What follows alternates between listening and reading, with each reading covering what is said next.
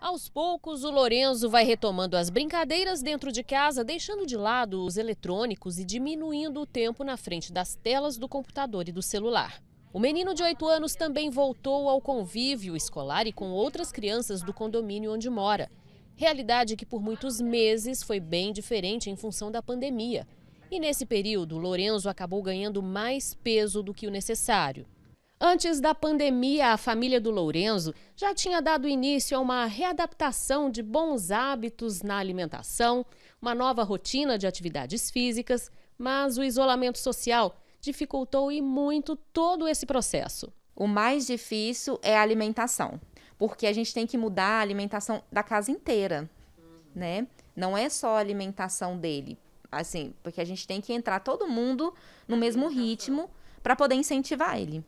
O sobrepeso do Lorenzo resultou em colesterol alto e acendeu mais uma vez o alerta da família para cuidados com a alimentação e o sedentarismo. O exercício físico, né, que a gente está retomando.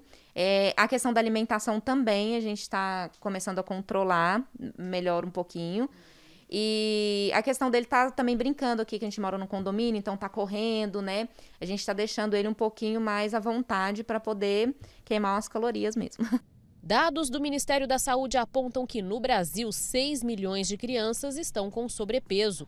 O problema atinge 15% das crianças com até 5 anos de idade e na faixa etária dos 5 aos 9 anos. E entre os adolescentes, esse índice sobe para 31%.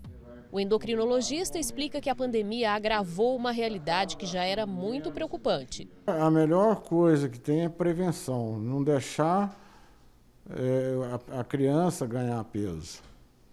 Que depois, para ela voltar a um peso normal, é muito mais difícil.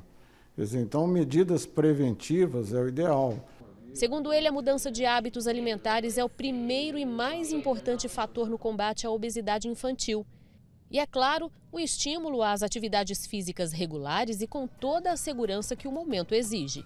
A pandemia está prejudicando muito, porque as crianças estão tá restritas no lar, em casa, menos convívio social, mais acesso a alimento menor atividade física, que às vezes não sai daquele ambiente do espaço da casa, então você não tem às vezes um para fazer mais exercício, a criança fica mais voltada com no celular, nos jogos eletrônicos, computador para assistir as, as aulas online.